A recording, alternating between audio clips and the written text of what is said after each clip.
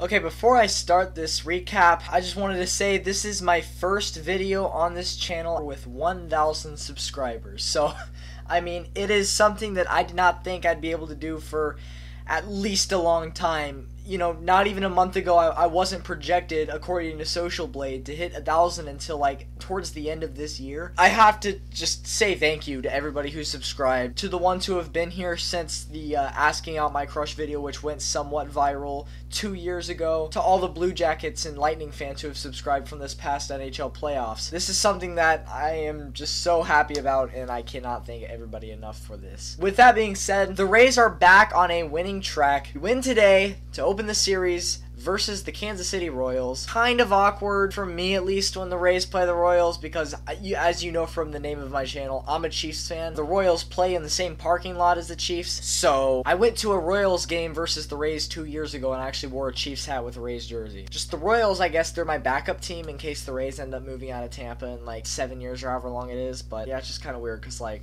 have a soft spot for the Royals. However, I'm a Rays fan for now, so go Rays. Top of the first, Royals, Alex Gordon, home runs. It's 1-0 Kansas City. Then here comes Yandy Diaz, right back at you. Bottom of the first, sacrifice fly. Tommy Pham scores, it's 1-1. Top of the fifth, Kansas City gets a home run back, it's 2-1 Royals. Top of the sixth, another home run for the Royals, so 3-1 Kansas City. I'm thinking, Please don't have another Tampa team collapse. But not to worry, Brandon Lowe doubles in the bottom of the sixth. Willy Adames scores. Still 3-2 Kansas City at this point. Bottom of the seventh, an inning later, Daniel Robertson force out. However, Avisail Garcia scores off that force out. 3-3 now. Mike Zunino then hits a two-run homer to center field. Congratulations, Mike Zunino. First home run as a dad. You know, that's pretty big deal when that happens. So congratulations, Mike Zunino. And then uh, just for insurance, insurance in the bottom of the eighth. Yandy Diaz hit a home run. So that's your final score 6 3 Rays. We had six runs on eight hits, which is completely fine by me. At least it's not like the other day where we had like 18 hits and se- seven runs or something like that. Probably less, actually. I don't really remember. It's just we had a ton of hits, very little runs. So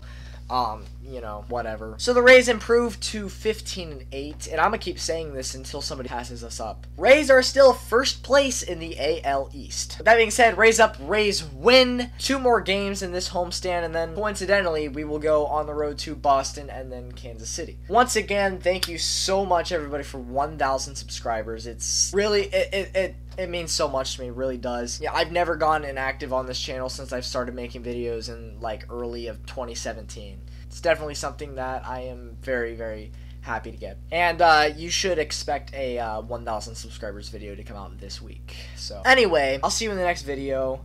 Peace out.